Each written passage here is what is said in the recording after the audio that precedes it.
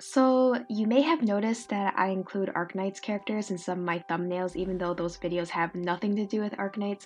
So, you may have assumed that I play Arknights, which, yes, I do.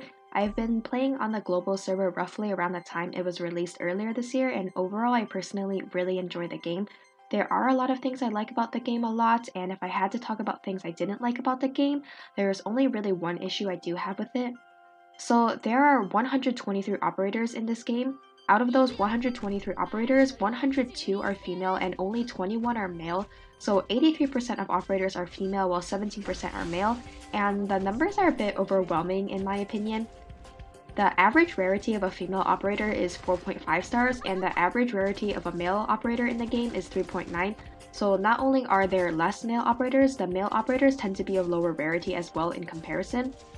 And some notable things I want to point out are there are no male supporters, even factoring in the Chinese server, and there is only one male medic, which is Ansel, even factoring in the Chinese server. We currently only have one male Vanguard, but there are two more in the Chinese server.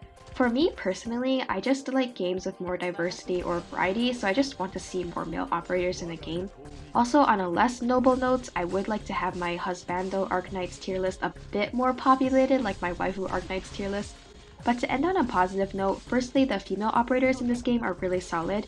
There are a lot of female operators I really like, my favorites probably being Skadi, Lapland, Meteorite, and Manticore.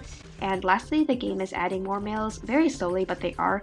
When I first started playing, males made up 13% of the total operators, but with all the operators in the Chinese server factor in, males make up 19% of the total operators. Back then I didn't even have enough male operators to fill a full squad, but now I have a decently functionable team. And that's pretty much all I had to say. I want to make more Arknights videos in the future, but this channel will probably still be largely elsewhere focused. Let me know in the comments if you play Arknights and or who your favorite operators are. Add me in game, you have strong male operators like Hellagur because he did not come home for me, and it sucks. Okay, bye bye! 投稿を拒む者には容赦はできん。